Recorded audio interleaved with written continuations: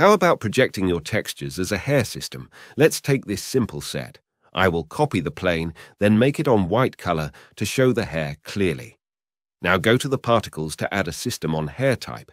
Let me first turn off the plane emitter from the viewport setting tab, and as usual, we need to set the number and hair length. So figure that out, 10K should do fine. After that, to the main thing for this video, go down to the Textures tab and hit New. It's a big button, so don't miss it. We can after that name this new texture.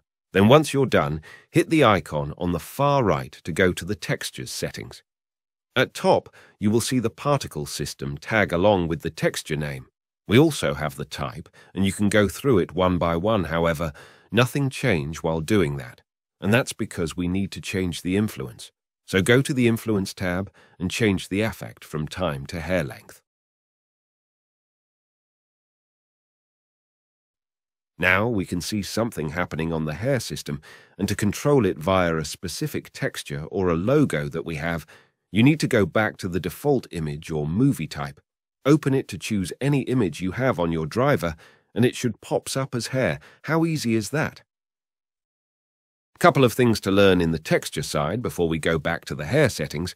There are two mapping tabs here. First one from the top, a small sub-tab that has the image extension, here we can leave it on repeat, and with the XY values, you'll be able to project it as many time on this surface as you want, or put it on clip for a single projection of the texture.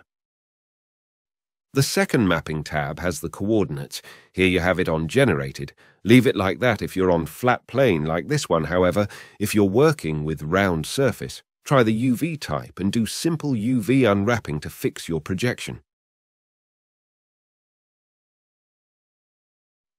Back to the hair system settings. First, the logo appearance. It still looks empty with 10K for the hair number, so either add more from that field or use the Children tab on Interpolate to add more to the look.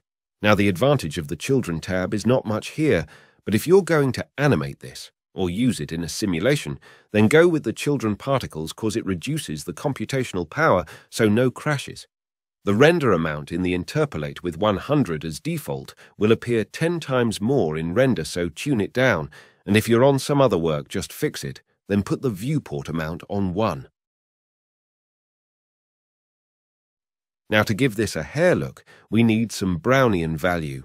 To get that, turn the advanced settings, then go to the Physics tab. A value of 0.02 to 0.05 should do the trick. One thing to keep this light on your machine is the hair segments value. Put it on 2, which is properly the lowest you can get.